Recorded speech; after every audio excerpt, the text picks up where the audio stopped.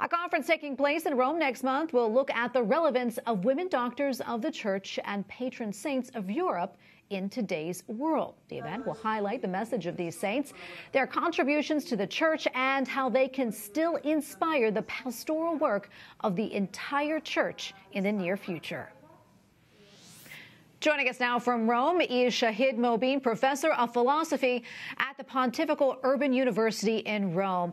Uh, welcome. Thank you so much for being with us today, Professor. Can you tell us a little bit more about next month's conference and why now?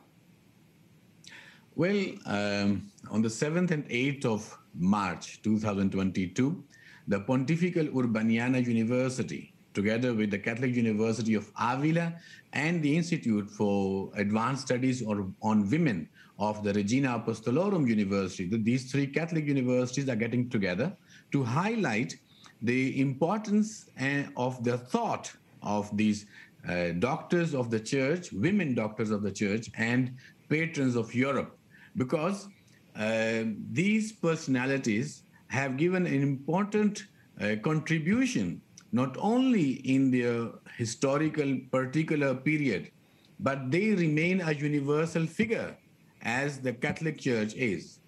And which saints in particular uh, do you plan on focusing on? Well, uh, there are uh, you see six figures, uh, six personalities, six saints uh, who we would like to highlight in particular. Uh, first of all, Catherine of Siena, Teresa of Avila, Therese of Lisieux, and uh, Hildegard of Bingen.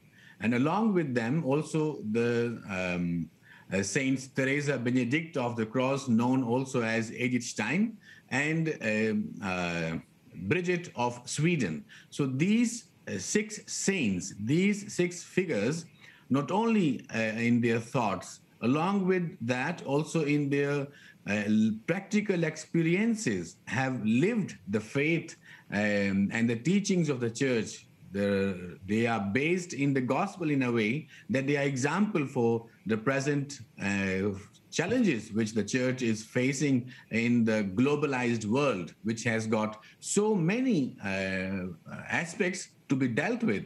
So they are a light also for all of us and for all the christians and i would say also for the humanity uh, as we mentioned, you're a professor at the Pontifical University. Uh, can you talk about how your work relates to the conference and also what you hope comes out of it?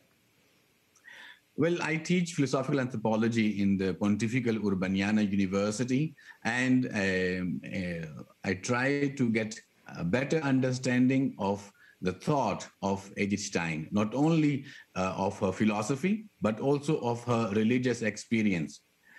She, through phenomenological instruments paves also the path to individuate the terrain for interreligious dialogue because the essential structure of human being to which pope john paul ii also uh, gave a hint a very important hint also in that direction in his encyclical fides et ratio so much so that he mentioned also edith stein um, the human being as essentially is the same everywhere in any context, in any nation, in any race, if you want to say, even if that would not be the right word, but that was a problem in the time of Edith Stein.